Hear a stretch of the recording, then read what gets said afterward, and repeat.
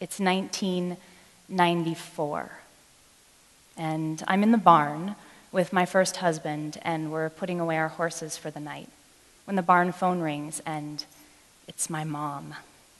And she skips over all of the niceties, and she says very clearly and urgently, I dreamt that you are sick, alone, and dying.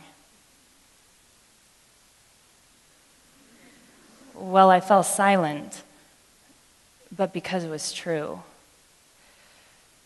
It was a perfect mirror to the words I'd gotten earlier in the week cancer, cancer, cancer. And hadn't told anyone because that was all too real, and realness was something that I couldn't quite deal with. So I said, Mama, I'm so sorry, but I have cancer. And I guess I haven't told you because I'm confused and I'm scared. And my ex husband, obviously overhearing all of this that he had not heard, seemed unaffected. And he went through and did the rest of his barn chores. And then he walked over quietly to the barn doors and turned off the barn light and walked out leaving me to finish my call with my mom in the dark. So I walked into the house. A few moments later, somewhat prepared to face his reaction, and instead of turning away from the television, he yelled over his shoulder, This will be the last time we talk about this, and you're going to be just fine. You have to understand, I'm 21 years old. Alone, I face the diagnosis of a lifetime cervical cancer.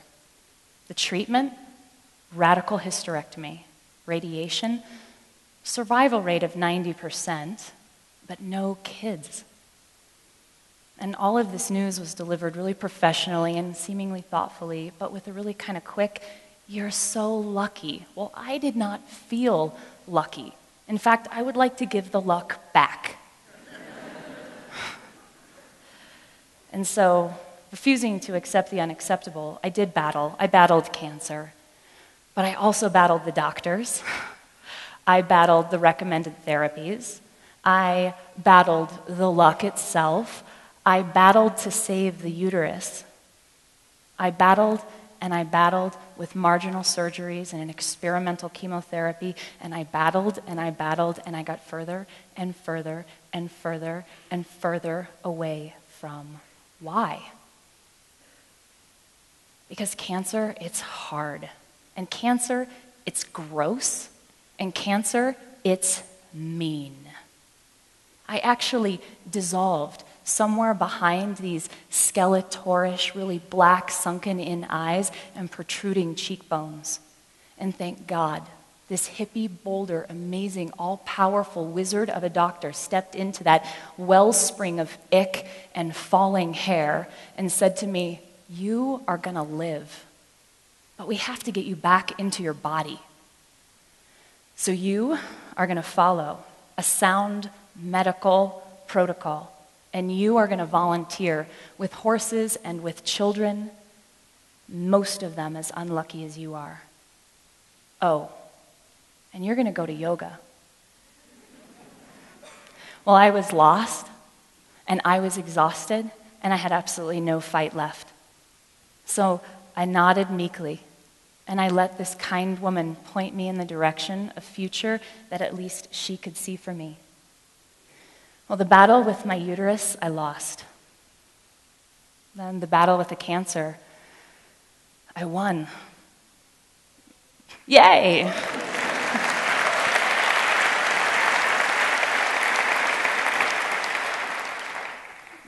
but that's not why I'm here the battle with depression, I was just beginning. I had survived, right? And I had proven statistics right. I had chalked one more up for science and sound medical protocols. And survival is the very definition of hope, right? Wrong. Wrong because all of the pressure and the anxiety of how I should feel lucky was actually killing me slowly. I felt so much shame trying to convince people that I was okay and or sharing with them the truth that the depth of my down was so down regardless of survival that I was sinking. I was sinking. And I was given the response, but you're so lucky. You got so much to live for. Cheer up. Well, I faked it for them, and I learned, as many people in the same position, to just get through. See, that's what they don't tell you about cancer and other really serious life circumstances that someone might survive is that it takes an exorbitant amount of energy to convince everyone else that you're okay. And when life circumstances actually rob you of your ability to take tomorrow for granted, it might also take away from you your ability to smile for real, your ability to connect, and your ability to hope. Why? Because depression is hard, and depression is gross, and depression is mean. So, through the battle with that depression that was so mean, I began to follow her protocol and I began to get back into my body. And as crazy as that volunteering and getting to the yoga mat seemed, it worked. And I didn't know how it worked, but I knew if I showed up with the horses and moved with them and chased the kids around and did all I was expected to do, I somehow felt better. And if I stood on my hands and awkwardly wobbled with myself, I somehow felt better. My battle with depression was at least as difficult as my battle with cancer. So, it took me years to figure out why it actually worked. It took me years to actually wonder if my path on the edge of depression and anxiety might actually help somebody else. Perhaps it's because what was going on had nothing to do with cognition. Depression and anxiety are hardwired grooves in the brain. They are so powerful, in fact, that they can create a full system, cognitive, embodied lockdown. Not just in the body or in the mind, but out of your life. I was locked out of my life. And being locked out of my life and moving and finding some effect in movement, I began to realize that amidst all of this, there was hope, real hope. And this hope was that I believe. No, I want you to understand. I believe to the very core of my being that the body can change the mind. I believe that the body can create empowered states of physical activity that actually inform emotional states of cognitive healing, emotional healing, mental healing. But how? I want to be entirely transparent and very clear that yoga can't heal depression. Sorry. It can't heal depression because downward facing dog can't fix your life. And sticking your foot behind your head can't heal a broken heart. But getting in your skin can. So if depression isn't busy solving, or if yoga isn't busy solving depression, then how does it work? Well, yoga works in a bunch of different ways, arguably, but this is my theory. Yoga works by creating the mind body breath connection. And a mind body breath connection is this we'll start with the breath. So we all breathe, we all have access to respiration, but we don't all always breathe fully, completely, or even smoothly.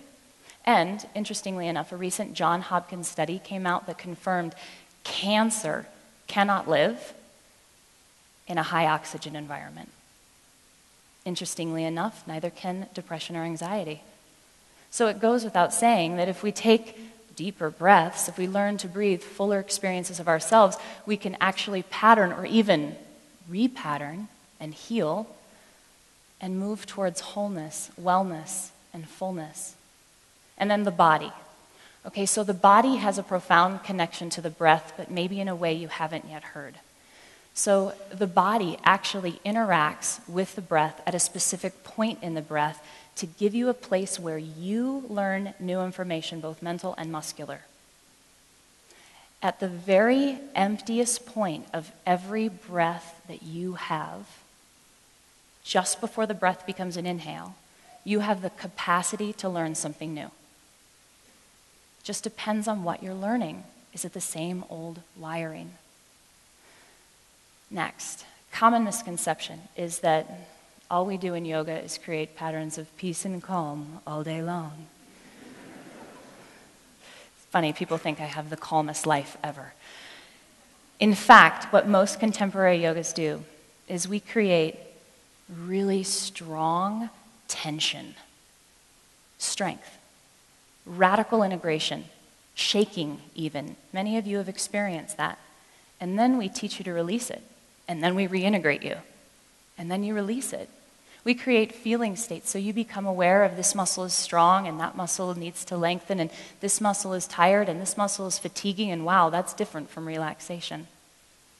So when you put these things together, when you put together the very fact of breath, being able to create a high oxygen environment of healing, and when you put together the very fact that we have the capacity within the breath to learn something new and change an old embodied pattern, you can do it in a space of a pulse. So as you breathe in, you can create tension. As you breathe out, you can release the tension. And then as you breathe in, you can safely go back to the tension. And you can teach yourself empowerment and structure and stability. You can teach yourself a new way. You can actually line up to change. It works. Should we try it together? All right, so invite your palms out. This your palms just up. This is yoga, but nothing crazy will happen. I am a trained professional. So I want you just to notice your state of being as how you arrive just right now. You've been sitting for nearly four hours. I thank you for your time. And you're probably really inspired. I mean, you might want to take Kristen's men's group class, or you might want to build bridges that grant access. But you just notice this is all layered on top of who you are when you came in. So it's all sum totaling your normal and natural. Just breathe all the way out. Now, as you inhale, squeeze and make big fists, tight fists, shake. And then, as you exhale, release and extend the fingers. Then inhale again and recreate the fists. Exhale and release. Right there, you have the capacity to learn something. Inhale, squeeze. Let's layer onto that. Exhale and release the tension. And now think of someone that you love. Inhale, integrate that. And exhale, just let go physically. And once more, inhale, squeeze. Exhale, think of someone that loves you. And then release your hands. Now, you might not feel entirely different.